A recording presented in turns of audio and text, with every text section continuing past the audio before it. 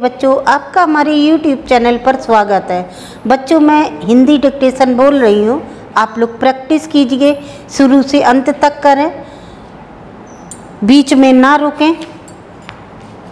Start. उपाध्यक्ष महोदय, माननीय वित्त मंत्री जी ने जो वित्त विधेयक पेश किया है, मैं उसका समर्थन करता हूँ।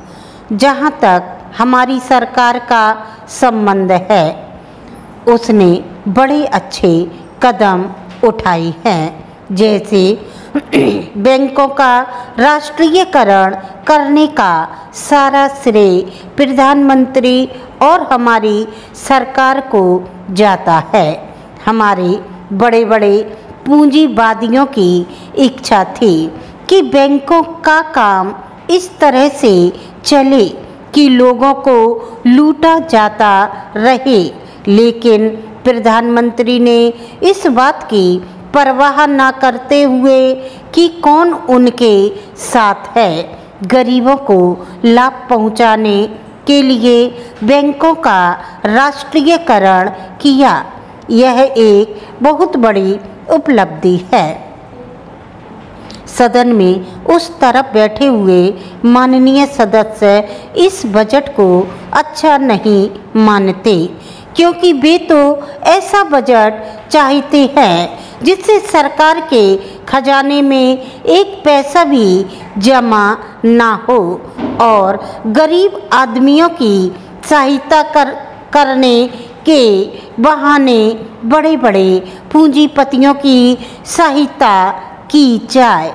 हमेशा से उनका यह उद्देश्य रहा है और आज भी है थोड़े से दिनों के लिए शासन इनके पास गया तो इनकी तरफ़ से यह कोशिश हुई कि जो राष्ट्रीयकृत बैंक हैं, वे किसी तरह से पूंजीपतियों के हाथ में चले जाएँ।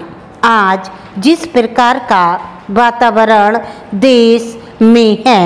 उसमें कुछ देश विरोधी तत्व देश की आर्थिक व्यवस्था को खराब करना चाहते हैं। उनसे निपटने के लिए जिस प्रकार का संतुलित बजट और वित्त विधेयक माननीय वित्त मंत्री जी ने यहाँ पर पेश किया है, उनसे अच्छा और कुछ हो नहीं सकता था।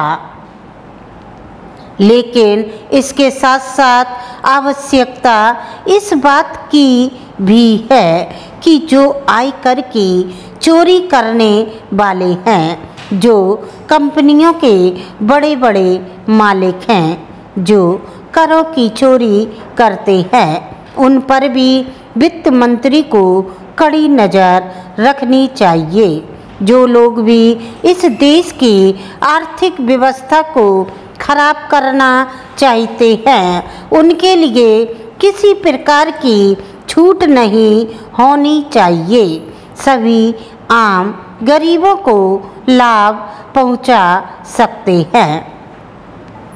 माननीय प्रधानमंत्री जी ने जो 20 सूत्री कार्यक्रम रखा है। उसके अंतर्गत आप सारे देश में बैंकों का जाल बिछाना चाहते हैं। हमारे जो वित्त मंत्री जी हैं, वे बड़े अच्छे ढंग से इस मंत्रालय का काम चला रहे हैं।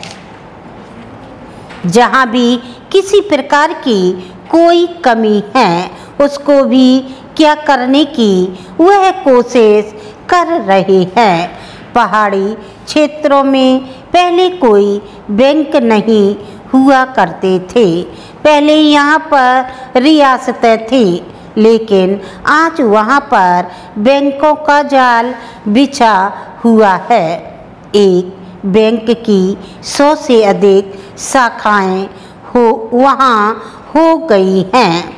इसी प्रकार से सारे देश में किया गया है। लेकिन कुछ शक्तियाँ ऐसी हैं जो इस देश की अर्थव्यवस्था को खराब करना चाहती है। जिस प्रकार से इस देश के मजदूरों को उकसाया जाता है और कारखाने बंद कराए जाते हैं। और उत्पादन रोका जाता है।